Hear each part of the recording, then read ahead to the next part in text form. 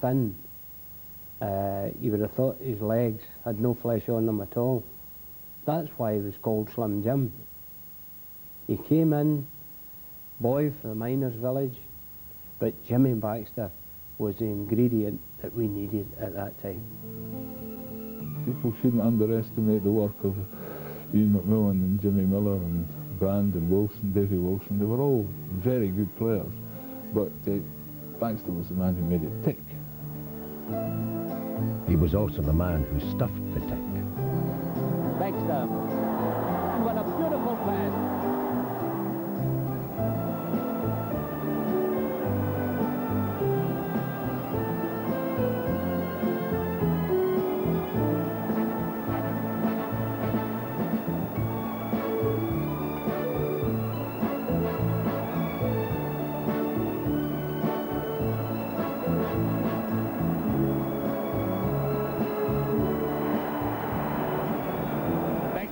number six.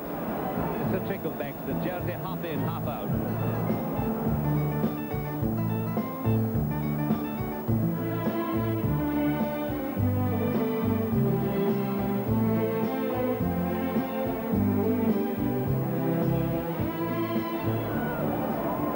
Baxter, this elegant footballer.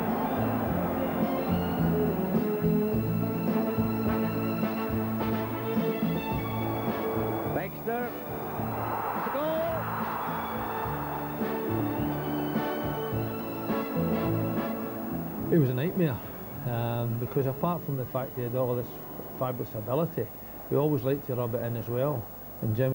I remember in the 62-63 final, at the end of the game, Baxter got hold of the ball and put it up his jersey and was striding off. So I asked Jim Baxter if I could have the ball and I addressed him in the usual way, Mr Baxter, may I please have the ball? And uh, the response was negative.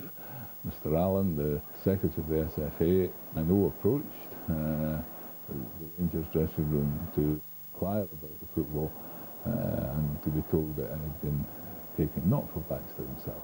He simply wanted to give it as a souvenir to Ian McMillan.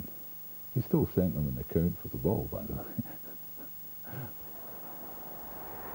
Football lost to the weather in the first few weeks of the season, but for Rangers at least it was a memorable year. And they showed they had something to sing about by recording the Rangers song.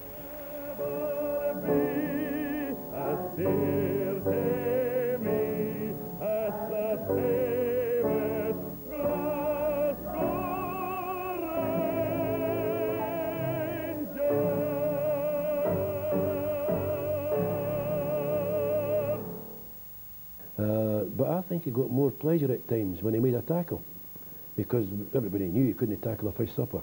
But when he did make a tackle, he was fair proud of it. But I can assure you, he, he had some cracking tackles, uh, particularly his right foot, in a lot of games. But uh, it always gave him a lot of pleasure because nobody ever thought he could do it. Baxter then moved on to an even bigger stage. He was selected for the rest of the world team to play England alongside Puskas and Di Stefano. At home, Rangers were treble winners, New captain Bobby Shearer lifted the Scottish Cup against Dundee. Later in the year, Baxter's influence in the team was confirmed when he captained them to win the League Cup. He then led Rangers out in snowbound Austria. The second leg of the European Cup tie between Vienna Rapid and Rangers. But for Rangers, this match in Vienna was a mixture of triumph and tragedy. Trying to beat the offside trap by holding on to the ball. Forrest. And here's Forrest coming through from that pass by Baxter. It's a goal this time. There it is. 1-0. Wilson, Kochek, Wilson again. Baxter. And here's Johnston outside right, coming right through. This is the way to beat the trap. Is he going to score himself? No, Wilson gets it. It's a goal. Goal for Rangers. It makes it 2-0. The tie was safely won, but for Jim Baxter, sometimes just winning wasn't enough. The last minute of the game, he was being arrogant he was playing about and I was shouting to him, give it to me, I'll go to the byline with the ball. The game's finished. We were one and two nothing at the time. But no, Jimmy says, I'm going to nutmeg him. And the boy clobbered him. To everything turn, turn. And there number 10 is Pele, possibly the most complete footballer in the world today. The true Brazilian versus the blue Brazilian. The incomparable Pele considered Jim Baxter to be a player in the same class as himself. Baxter now. Inside to Chalmers. Baxter clipping one through there. And that's the first goal. A magnificent effort there. And for a short while, they seem to have got it right. Baxter. Baxter still has his old ability to play on passes. Baxter summing up the whole situation. There it goes to Gregg.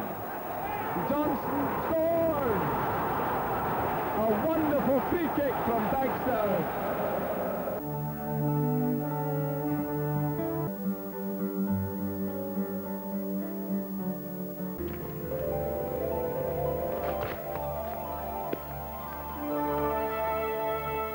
No bad, eh?